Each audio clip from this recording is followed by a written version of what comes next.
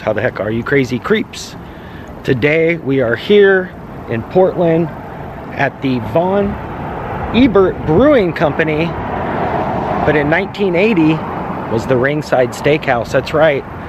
And a hostage situation broke out here September 8th of 1980. Three guys broke in trying to get some money to further their kind of crime crime spree if you will today we're going to talk about the hostage situation that happened right here at the ringside in 1980 stay tuned. It's definitely a good one. Like i said this is the von ebert brewing company now but this was the ringside steakhouse here in portland right here at the Glendoveer Golf Course, which is right here behind it. And on September 8th of 1980, at about 12 o'clock, three men, whose names I'm going to leave anonymous, just for, you know, security reasons for myself, with ambitions of kind of furthering their crime spree, would rob this this particular steakhouse and during the robbery slash holdup it would go terribly wrong. And in fact the police and the FBI would get involved so when the three guys came in to rob this now brewery which was in the steakhouse they didn't realize how fast things would get out of control. And one of the guys went in to, you know, basically rob the joint. And when they did, one of the workers actually tripped a silent alarm. So instead of just basically getting the money and taking off, when they came out, there was already about 10 cops sitting right about here blocking the driveway with about three or four more FBI agents on the way. They saw all the police standing out here and hightailed it back in to the bar restaurant and began to you know tell folks listen you guys aren't going anywhere. No one's leaving. And we just wanted to basically get this money and go. And you guys are permitting not permitting that. So no one's leaving. And so literally 10, 15 hours went by. And the police would begin to, you know, talk with the suspects, which would trigger a huge newscast of folks. All the channels would come down and Channel 8 was on deck and some of the guys that were inside saw that the newscasters were here and informed the, you know, robbers, hostage takers that the news was here. So they actually called KGW from inside and told them, you know, look, we're gonna we're gonna make these demands and you guys are gonna help us meet them. And the police were actually really upset with this. So they demanded KGW to cut ties with the hostages over the phone and told them, look, do not you know, do not talk to these guys anymore. And the police began to, you know, talk with these guys, and the demands were just in incredibly ridiculous. At first, they demanded a getaway plane with, I think it was like, you know, $5 million, just something ridiculous. Um, and the police said absolutely not. And so they kind of lowered their demands to $5,000 and also wanted some handcuffs. And the police were like, just so wore out about 15 hours into it, met their demands with the handcuffs and told them, look, you know, enough's enough. And uh, kind of just waited it out. And with no prevail, the police decided, look, we're to give these guys the handcuffs, which I just couldn't find. I don't just don't understand why they did that part. But anyways, they gave these guys some of their demands by supplying, you know, the handcuffs. And then they went on to tell them, look, enough's enough. You guys aren't getting anything else. And uh, you better come out now because if you don't, the, the consequences and the penalties are going to be so much more. And so about 17, 18 hours in, uh, one of the guys decided, look, enough's enough, and he gave up. Um, and I think kind of what helped him give up was the police actually had PGE come out, which is our, you know, power company here, to, you know, one of these big power poles here on one of the sides was the power box.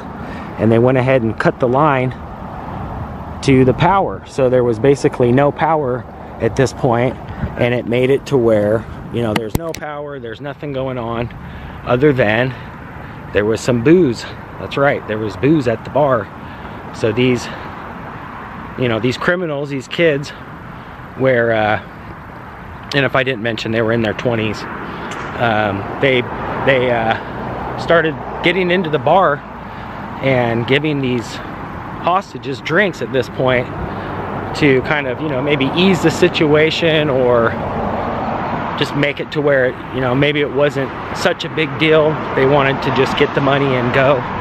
And so they, they supplied the hostages with drinks. And after about like 17 hours in, one of the guys, like I said, came out with his hands up, which you can actually see in the newspaper article that I'll insert.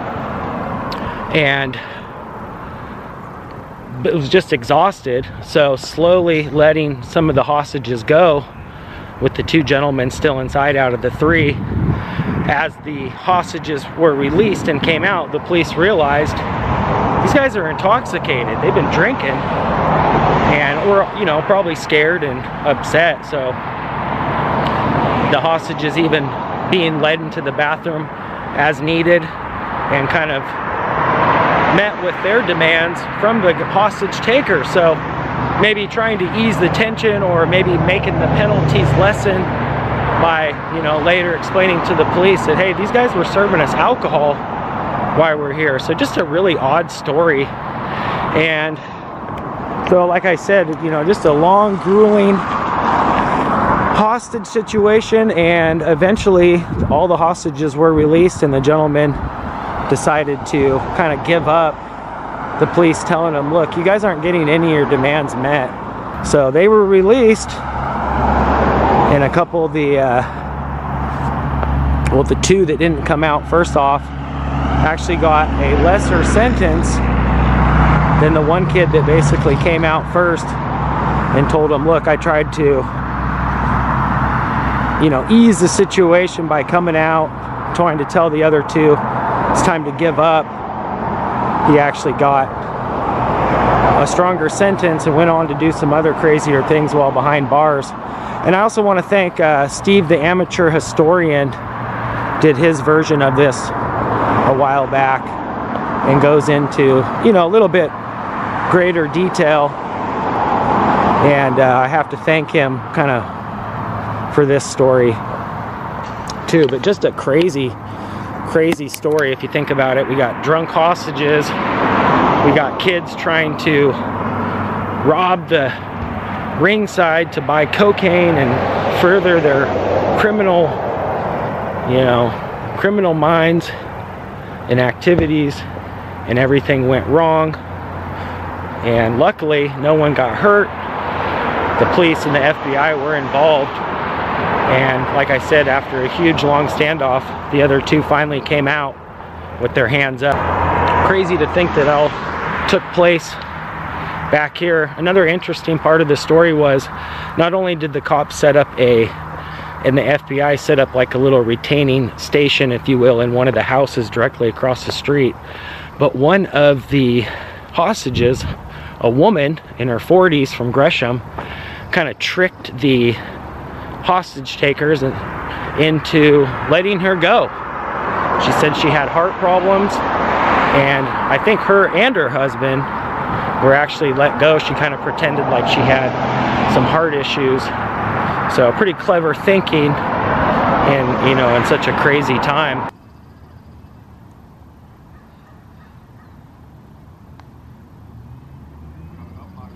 There it is.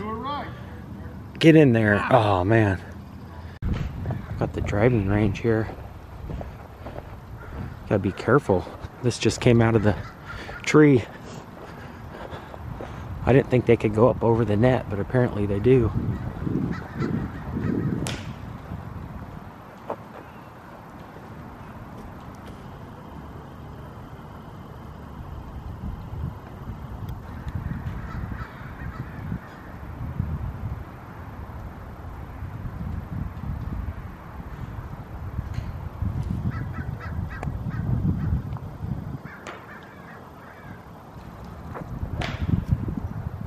I, that was a little before my time here. Oh, okay. Uh, I do remember a, a hostage situation over in a house right across the street. There was. There was one years later as well. Another, ho- and it happened in one of the one of the homes over here. That's right.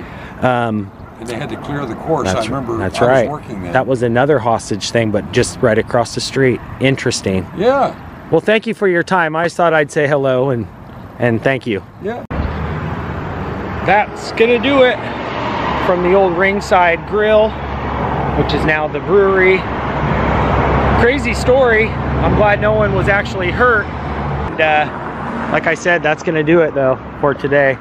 If you guys are new here, make sure you hit that red subscribe button. You can ring that bell. That way, when I creep, you guys will be the first to creep. Until next time, creeper out for now. Peace.